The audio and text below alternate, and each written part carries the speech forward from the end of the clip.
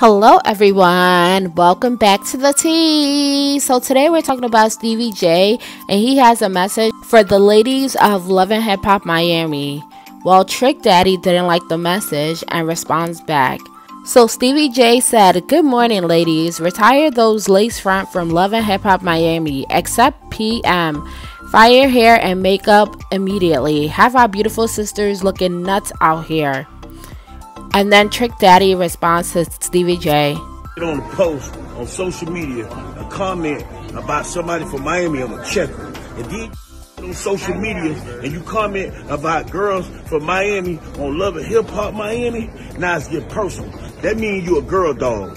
The next girl dog say something, I'ma slap you like you. You hear me, boy?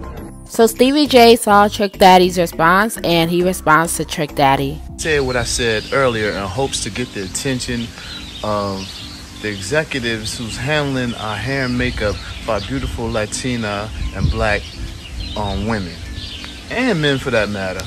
Um, listen, my job here is done.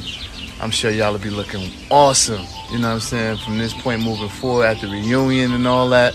You know what I'm saying? Live a healthy lifestyle. Peace and blessings, y'all. Let me know what you guys think. Don't forget to comment and subscribe.